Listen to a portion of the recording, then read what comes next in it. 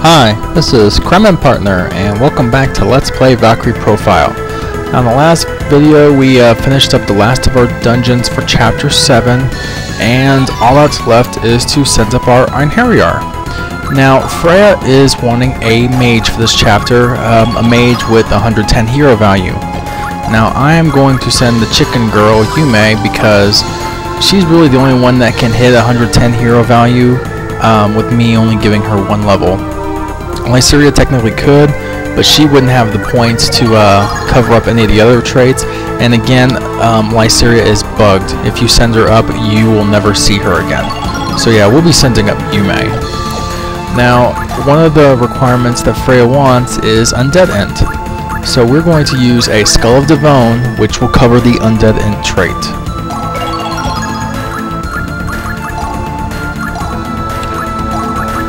Give her 2,000 experience. Now let's go ahead and remove those items now. And equip the Skull of Devon. And let me go ahead and re-equip the Bracelet of Zoe back on Valkyrie. Um, while I'm at I'm going to go ahead and put the Creation Jewel on also. Alright, uh, traits are next. Now again, I need to hit 110.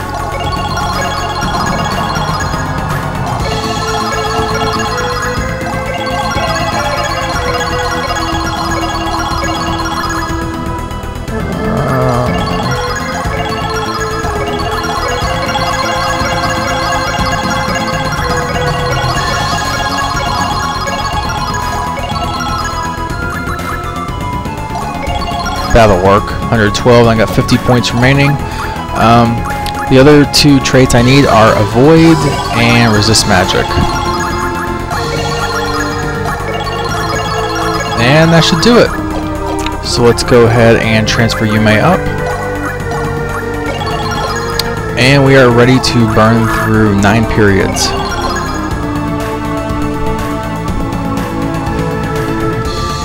Now, this sacred phase will be a little different, depending. Um, it has been a long time. Again, since I'm, you know, locked into the A ending because I sent up Lucian and I'm under 38 hero value, uh, we'll see a few scenes here. Um, also, if you're playing on easy difficulty, this will be a little different also. It'll be just like any other um, sacred phase. I have bad news to report. One of the Einherjar that you sent us has betrayed the Lord Odin. What? Come on, not my Einherjar. They're all uh, grade A quality. His name is Lucian. He was executed by Loki, who happened to be present at the time. Oh, happened to, huh? The dragon orb was stolen and possibly sent to Midgard. We do not know exactly where it is. Lenneth, perhaps you have some ideas. Yep, I sure do. In fact, um, Lenneth, I have a very important mission yeah. for you. She apparently doesn't want to hear my ideas. You must go to Midgard and retrieve the stolen dragon orb. May fate Now, even though hand. she isn't going to tell me the, how uh, magnificent a job I'm doing, I still do get evaluated for my Einherjar. I expect good news. And you'll notice I got the sword Gram. Um, Gram is one of the weapons you can get randomly um, in fact, I would almost recommend you saving and reloading um, until you get the Gram if uh, you use a lot of swordsmen on your team. Because, I mean, you know, Gram's worth 100,000 materialized points, where on average the other weapons that you could get are worth only, you know, say 7 or so, 7,000. Um, you also notice I did get Might Reinforce. I am going to be giving that to Mystina. Anyway, uh, yeah, let's move on.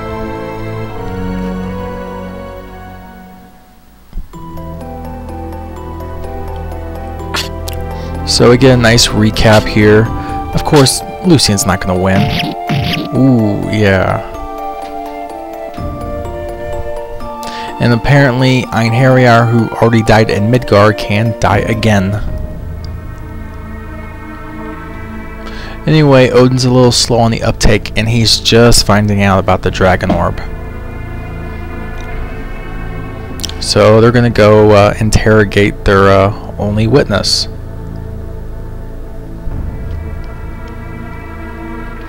And conveniently, uh, Loki has a pretty good alibi considering uh, Lucian used the water mirror to give Valkyrie that earring. So, yeah, it, it looks like, you know, he uh, dumped the dragon orb in Midgard. But, you know, that doesn't make any sense at all. I mean, why would he do that? I mean, how would he even know about how the water mirror works unless someone told him?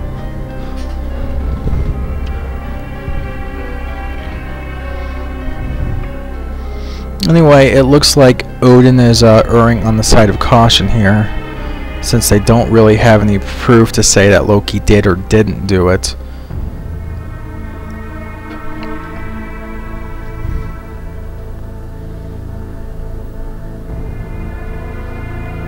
Yeah, so even Freya realized it, it, it just doesn't add up. It doesn't make sense that Lucian would do this.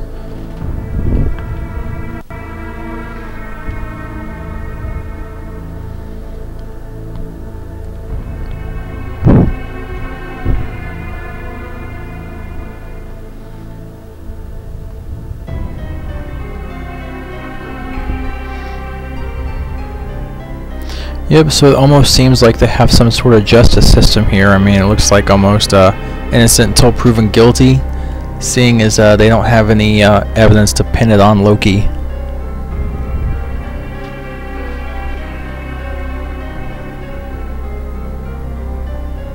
I'm going to send you one of these earrings, and I want you to take it. But the other one is hidden somewhere else.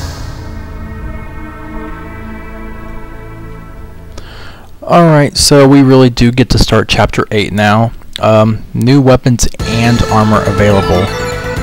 In fact, um, the weapons here in particular are pretty much on par with the kind of stuff I was making back in Chapter 4. You know, it, took, what, four chapters, but it's finally caught up. I mean, look at the Valkyrie Favor, 1600 attack, uh, you know, three attacks. Um, in particular, I remember the Bahamut Tear was pretty good you know, 3 attacks, 1200 damage, but if you look at the uh, special ability, is your uh, Purify Weird Soul does 30% uh, more damage. Not really a bad ability, and, you know, there's some weapons like this throughout. Um, you know, that's not too bad. I mean, you know, obviously the Elven Bow still easily outclasses this, but it's not bad. As far as armor is concerned, I need to get two Valiant Helms, the Seraphic Garlands for Valkyrie. Um, Valiant Armor I don't need. Both the Mithril Plate and the Reflect Armor are better than this. But I do want to get a Seraphic Garb for Valkyrie. Now I'm also going to get a Supreme Garlands for my Mage for those times when I'm fighting something that um, actually uses a holy damage attack. You know, those times when I don't want to use the Mask of the Undead King. Or the Dead King, rather. Um, I don't need the Supreme Garb. Both the Sulfin Robe and the Robe of Brattain uh, outclass this easily. Don't need those. I do need three Valiant Greaves, and there are no Mage Boots. Um, while I'm at it, I'm also going to start stocking up some items, just because I'm, I'm finally at that point where there's really not a whole lot to buy.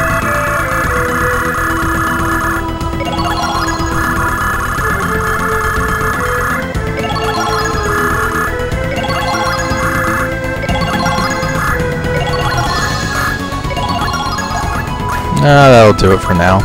Anyway, let me go ahead and get all that equipped.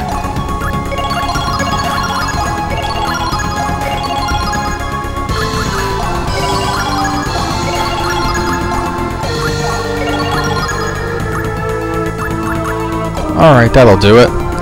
Anyway, um, yeah, that'll cover everything for equipment. Um, something else to mention if you're already set for the A ending, meaning you you know you set up Lucian in chapters uh, five or six, and you had less than 38 hero value in chapter seven and got those scenes that I showed you earlier.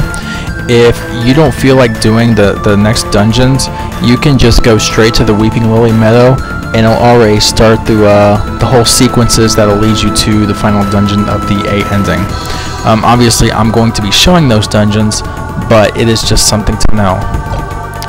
Anyway, I have a little bit of time, so I'm going to go ahead and just do the spiritual concentration.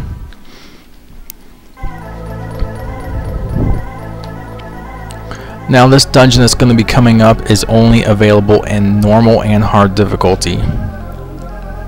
In fact, if you're playing easy, the only quote-unquote dungeon you have is the Cave of Oblivion for this chapter, and that's it. So, yep, we're going to go to the Palace of the Dragon. And I'm going to go ahead and stop here, go ahead and save. Um, yeah, next video we will explore our first dungeon of Chapter 8, the Palace of the Dragon. Anyway, this is Crime and Partner. Thanks for watching. See you next, Crime.